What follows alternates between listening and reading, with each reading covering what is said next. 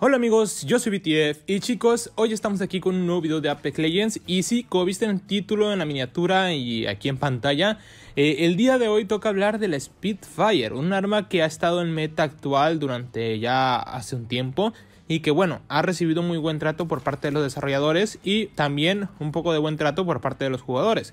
Al fin y al cabo es un arma que ya casi no se usaba, casi no se llevaba y que hoy en día está rompiendo madres a todo tipo de jugadores. Y sí, déjame decirte, antes de comenzar el video, que no soy un llorón, no vengo a llorar aquí este video, vengo a explicarte el por qué esta arma está rota, técnicamente, o si existe un problema con esta arma. Y si quieres comentar algo insultándome, pues mira, ahórratelo, porque yo, la verdad es que te voy a mandar por un tubo y vas a caer allá con, con Bartolo en el canal, o sea, con el cocodrilo que existe aquí en mi pueblo que se llama Bartolo, con allá vas a caer tú. Así que eh, evítate eso, porque aquí eh, es muy común que todos nos quejemos cuando nos mata algún arma. Y aunque tú le digas llorón a alguien más, estoy seguro que alguna vez te quejaste diciendo, ay, es que me mató ese tipo porque trae esto. Ay, es que me mató este otro tipo porque trae lo otro. O sea, es común, pero es parte de ser un jugador, es parte de ser un gamer, quejarse por alguna tontería cuando te estás jugando y cuando te matan con algo. Así que, una vez dicho esto, empezamos. A ver, vamos a empezar analizando el problema, que este problema ya está desde hace algunas temporadas, o sea, de la temporada pasada, y Respawn todavía lo incrementó más en esta temporada 8, ¿no? El Spitfire es un arma de ametralladora ligera, o sea, de la clasificación de ametralladora ligera, de munición pesada. Evidentemente las armas pesadas en Apex suelen tener más daño que un arma de otra categoría. Y en este caso, pues sí, no es la excepción. La Spitfire presenta un mayor daño que la Devotion, pero una menor velocidad al momento de disparar. Eh, esta arma presenta atributos bastante llamativos. Y es que dirás tú, a ver, BTF, al ser una ametralladora ligera, pues se supone que debe de tener principalmente muchas balas y un buen daño, ¿no? Y sí, en efecto tiene muchas balas y también un muy buen daño. O sea, superando armas como la 301 en cuanto a daño, eh, en cuanto a cargador también, superando armas como la Havoc y estando inferior a armas como la Hemlock o la Flatline, ¿no? El daño que esta arma presenta será de, 19 al pecho, que bueno, era 18 antes de la temporada, pero le bufiaron y le incrementaron uno de daño, y unos 38 a la cabeza o 40 dependiendo de la leyenda que le pegues, o sea, porque hay leyendas que como tienen la reducción de daño les quitas 40, a otras 38 y a otras pues 37, ¿vale? O sea, es más o menos ahí el daño, no te lo voy a dar exacto porque no lo tengo, pero es el aproximado, o sea, entre 38 y 40 de daño a la cabeza y pues 19 al pecho en cuanto a enemigos normales y ya pues hazle la resta o la suma dependiendo qué tipo de enemigo sea, ¿no? Esta arma también tiene la capacidad de disparar hasta 35 balas, o sea, en el cargador base cuando tú recién las agarras por el suelo. Y si tú le pones un cargador ampliado máximo, pues tendría unas 55 balas, que como puedes ver es una maldita locura lo que trae de balas esta cosa. Suponiendo que el Spitfire, por ejemplo, eh, trae 55 balas y la 301 como máximo puede traer 28. O sea, más o menos casi casi la mitad, ¿vale? No es la mitad, pero casi casi. O sí, no, no, no, no es la mitad. Pero bueno, chicos, eh, otro problema que existe con esta arma es en cuanto a la precisión que tiene. Porque dirás tú, a ver, BTF, entonces tenemos una ametralladora ligera. Se supone que las ametralladoras ligeras tienen muy buen daño, una muy buena eh, tamaño de cargador, pero tienen una dispersión que te cagas. Y no, esta arma no presenta una dispersión que te cagas, al contrario, es un arma con la cual te sorprendes cuando estás disparando con una mira por 3 o mira por 2 y ves cómo destrozas a cualquier enemigo a distancia y te quedas, wow, este tipo láser es increíble.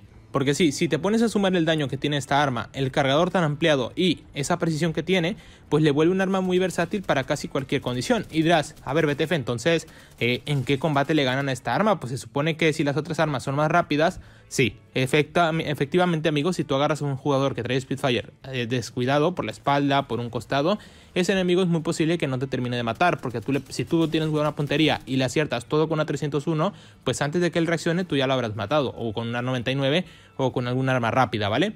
Pero si tú estás peleando de frente contra este tipo y este tipo ya está posicionado para dispararte, en ese caso tú no puedes ganarle. ¿Por qué? Porque si el enemigo sabe jugar, o sea, si, si, están en las mismas condiciones, ¿vale? Si tiene la misma vida, el enemigo sabe jugar igual que tú, pues ese enemigo te va a pegar al menos unos cuantos tiros y en los que tú quieres moverte a un lado o a otro, como él tiene muchísimos tiros, o sea, eh, tú te vas a ver ralentizado por el efecto de la bala, que por si no saben, en Apex Legends existe la ralentización de la bala, o sea que cuando alguien te pega, tú como que te haces más pesado y no puedes caminar eh, fácilmente, esto pasa mucho, ¿vale?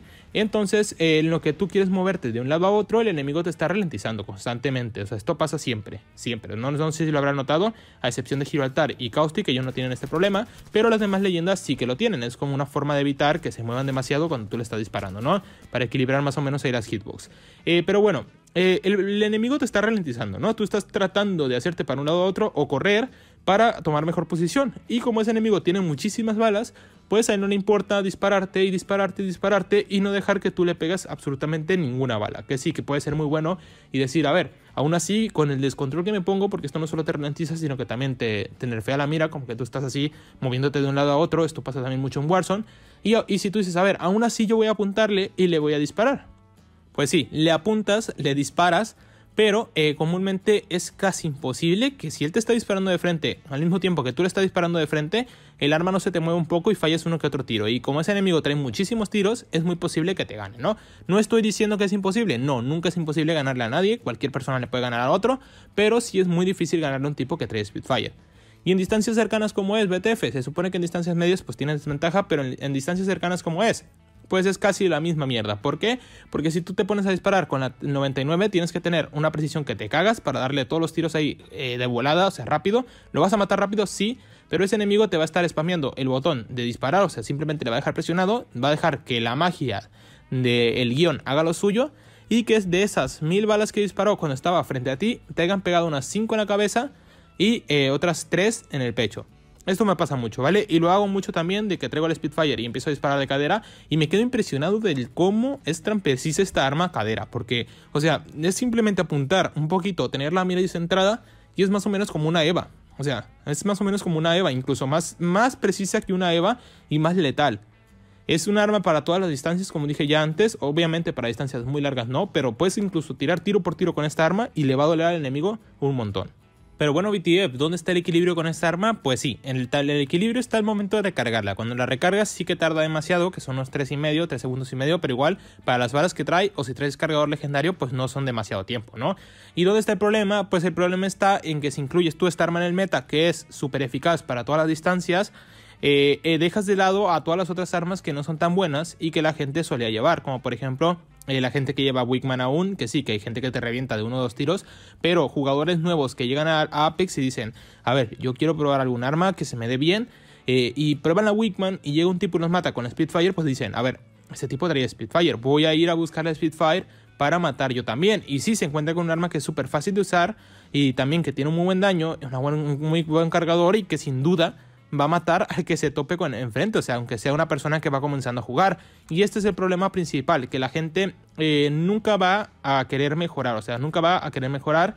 No estoy diciendo que tú, o sea, que tú o cualquier otra persona así, que, que yo sé que hay excepciones siempre, pero comúnmente la gente aquí en los Battle Royale nunca van a mejorar, siempre quieren eh, buscar la forma de hacer más fácil la victoria, que esto obviamente es normal, pero no es recomendado. ¿Por qué? Porque cuando el día que nerfeen esa arma, tú ya no vas a matar o vas a tener que buscar otra arma que esté fuerte para poder matar con ella. O sea, ese es el verdadero problema y el por qué mucha gente se queja. Porque si tú vas a un grupo de Facebook y pones, la Spitfire está rota, nerfeenla habrá mucha gente que usa la, la, Spitfire que te va a quejar y te va a empezar a tirar mierda, o sea, perdón por la palabra, pero te va a empezar a tirar mierda únicamente por tú decir que la Spitfire está rota, algo que es cierto, ¿vale? Es cierto porque es un arma que es buena para cualquier distancia y recuerden que Apex Legends es un juego que está equilibrado para que todo funcione eh, diferente, o sea, que todo funcione bien, que todo pueda tener la misma posibilidad, porque mm, para eso es, hay el equilibrio de leyendas, o sea, Gibby tiene una hitbox muy grande, pero tiene reducción de daño.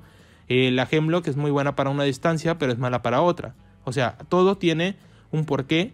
Y si tú pones algo que como que afecte eso, como que contradice lo que está escrito, pues es cuando empieza el problema, ¿vale? Porque no te dan a ti la posibilidad de usar armas, por ejemplo, como la, como la 301, o sea, que sí, que es muy buenísima y todo, pero cuando tú te empiezas a enfrentar contra estos enemigos que están eh, frente a frente peleando, tú le empiezas a disparar de cadera y si fallaste unas cuantas balas, ese enemigo te sigue disparando. Entonces tú te ves en la obligación de ir a usar Spitfire, ¿vale?